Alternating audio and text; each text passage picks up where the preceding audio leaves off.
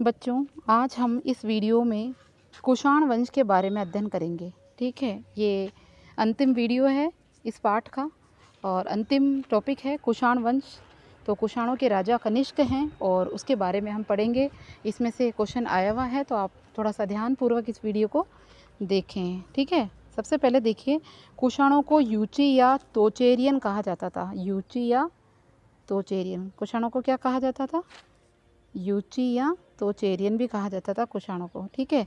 और यूची यूची जो है वो कबीला पाँच, यूची कबीला पाँच भागों में बट गया, यूची कबीला पाँच भागों में बट गया था।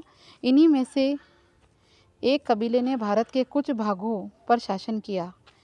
ठीक है, ध्यान रहेगा यूची किसको कहा गया है? कुषाणों को।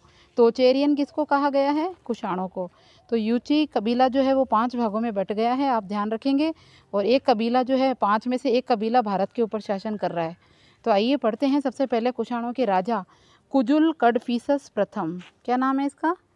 कुजुल कडफीसस प्रथम।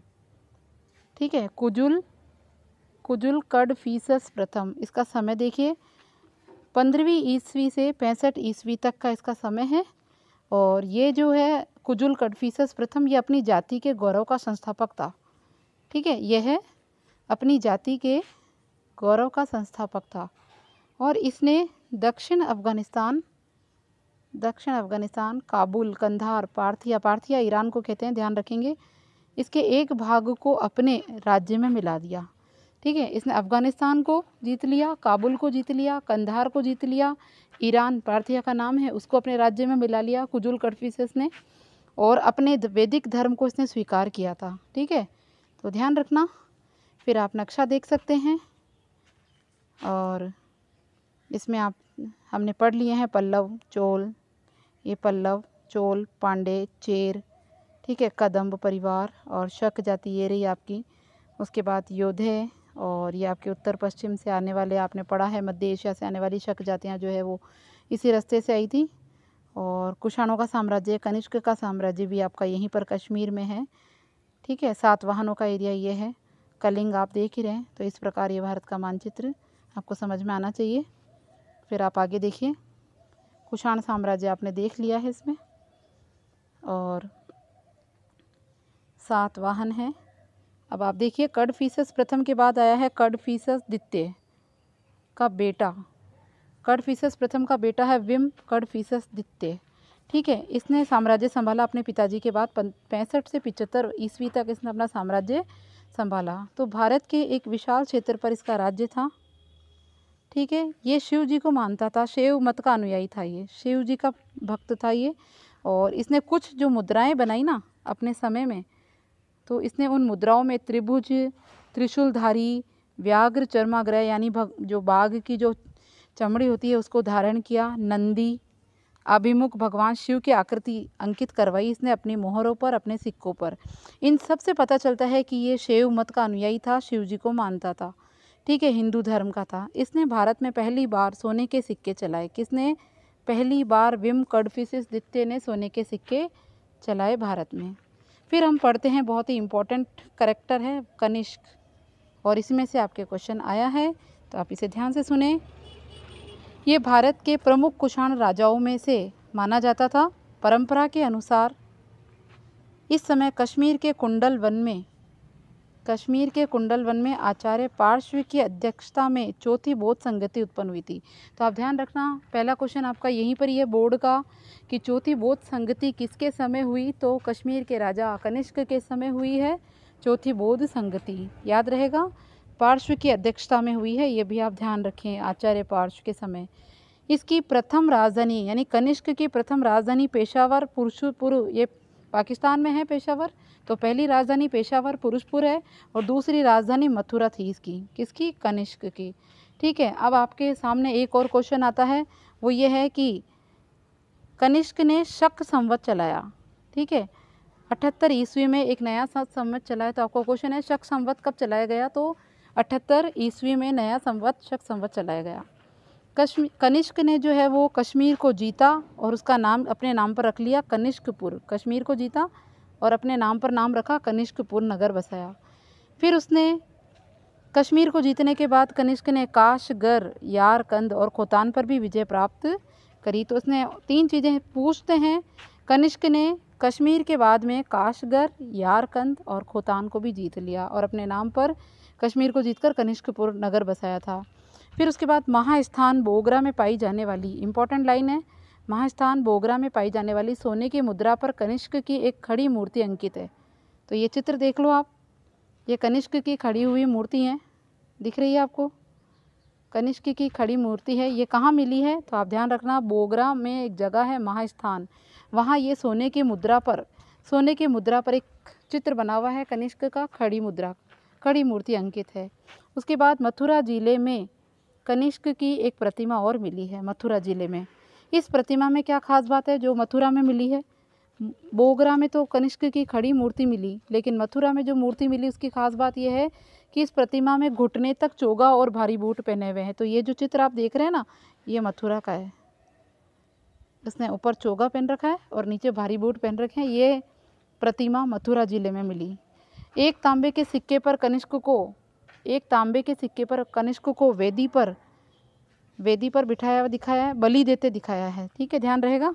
एक तांबे के सिक्के पर कनिष्क को बलि देते हुए, ये कुषाणकालीन सिक्के देखिए आप, बलि देते हुए दिखाया गया है इसको। और कनिष्क के दरबार में कौन कौन थे? ये है आपका एक नंबर का क्वेश्चन कि कनिष्क के दरबार में कौन कौन लोग थे?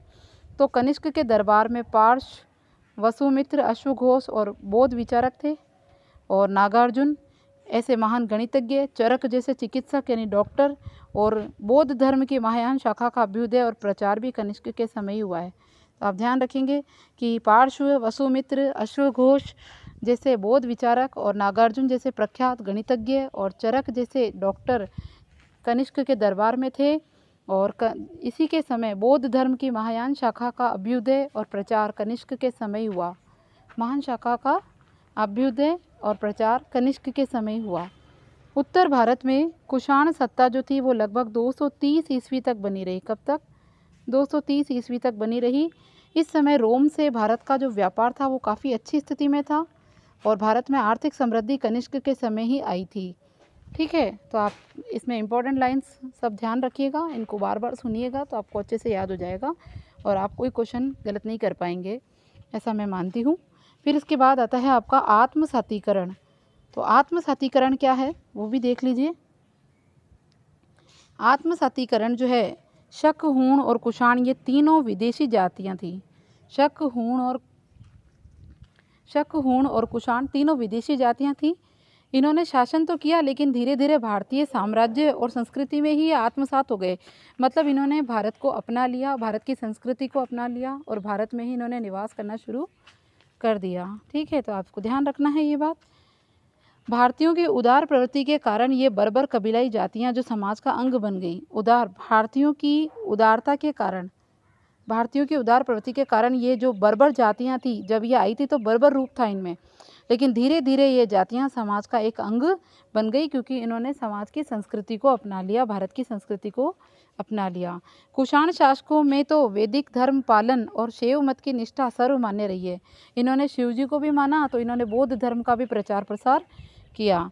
कनिष्क द्वारा की गई बौद्ध सेवा की, बौद्ध धर्म की सेवा तो भारत में महान राजाओं में अधिष्ठित करती है। कनिष्क ने बौद्ध धर्म के लोगों के लिए काम किया।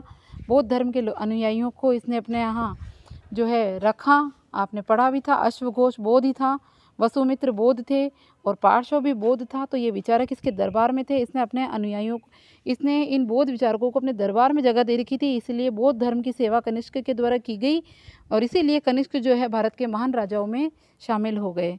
आप चित्र देखिए, बलि लेते हुए भी सिक्कों पर बलि लेते हुए भी कनिष्क ने जो है अपने सिक्के बनवाए हैं और बौद्ध धर्म का प्रचार भी इसने किया है। सिक्कों के ज़रिए आप देख सकते हैं, ये कनिष्क की मूर्ति है जो मथुरा से मिली है, जिसमें इसने चोगा पहन रखा है और नीचे जूते पहन रखे हैं भारी।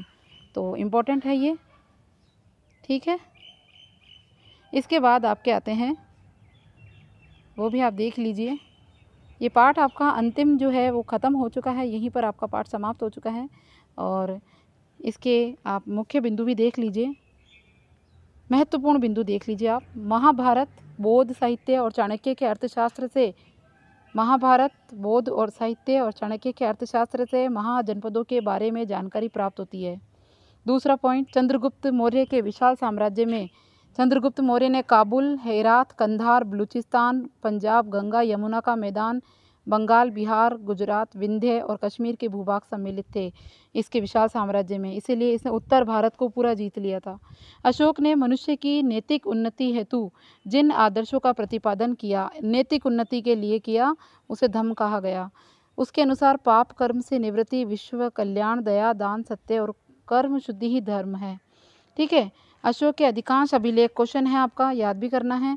अधिकांश अभिलेख धर्म ब्राह्मी लिपि में है जबकि पश्चिम उत्तर भारत से जो अभिलेख प्राप्त हुए वो अराइमिक या खरोष्टी लिपि से प्राप्त हुए। अशोक के अभिलेख को पढ़ने वाला पहला और सफल प्रा, सफलता प्राप्त करने वाला अभिलेखों को पढ़ने वाला पहली बार सफलता प्राप्त करने वाला व्यक्ति है जेम्स प्रिसप। जेम्स प्रिसप ने ही अशोक के अभिलेखों को पढ़ने में पहली बार सफलता हासिल की। कौटिल्य के अनुसार राज्य के सात अंग थे। राज्य के सात अंग थे, जिसमें राजा, अमात्य, जनपद, दुर्ग, कोश और सेना, दुर्ग, कोश, सेना और मित्र। ये तो कौटिल्य के दरबार में सात अंग थे। सातवाहन वर्ग के सभी शासक हिंदू धर्म के अनुयायी थे। उन्होंने वैदिक यज्ञों और वैदिक यज्ञों, वर्णाश्रम व्यवस्था को प्रतिष्ठित किया तथा यवनों और शकों के संघर्ष, यवनों और शकों से भी संघर्ष किया। फिर आपका इम्पोर्टेंट लाइन इलाहाबाद प्रशस्ति के अनुसार समुद्रगुप्त कभी भी युद्ध नहीं हारा। उसके बाद आपको पता है, आर्यभट्ट, वराहमीर, ब्रह्मगुप्त ने गुप्त काल में गणित और ज्योतिर्विज्ञान में बहुत योगदान दिया। नवा पॉइंट देखिए, गुजर प्रतिहारों की स्थापना नागभट्ट नामक एक सामंत ने 725 ईस्वी में की और राज्य की स्थापना, इसका जो राज्य था, उसकी स्थापना गुजरात में हुई। बाद में इसी के नाम पर गुजर प्रतिहार नाम पड़ा। गुजरात में हुई थी, इसीलिए गुजर प्रतिहार नाम पड़ा है। ध्यान रखिए, नागभट्ट पहला व्यक्ति है, सामंत था ये। फिर दसवां, चोल शासक राजराज प्रथम, पढ़ चुके हैं हम। अपनी राजधानी तंजोर में भगवान शिव का राज राजेश्वर या वृद्धेश्वर मंदिर इसने बनवाया। चोल युग के कांसे की शिव मूर्तियों का कला की दृष्टि से बहुत प्रसिद्ध रहे हैं। वो जो नटराज की मूर्ति थी, वो कांसे की थी। तो सात वाहन, गौतमी पुत्र, सात करनी नासिक लेख में लिखा है कि शकों को नष्ट करने वाला शहरात वंश का उन्मूलक किसे कहा गया है? तो शहरात वंश का उन्मूलक किसी और को नहीं, गौतमी पुत्र सातकर्णी को कहा गया। ध्यान रखें आप। उसके बाद कनिष्क ने एक नया संवत चलाया। अठहत्तर ईस्वी में उसे कहा गया शक संवत। इसी के साथ आपका पाठ यहीं समाप्त हो चुका है और इसके अभ्यास प्रश्न, अति लघुतरात्मक प्रश्न और लघुतरात्मक प्रश्न आप देख रहे हैं। इन सभी प्रश्नों को आप अपने कार्य के अनुसार कंप्लीट करें।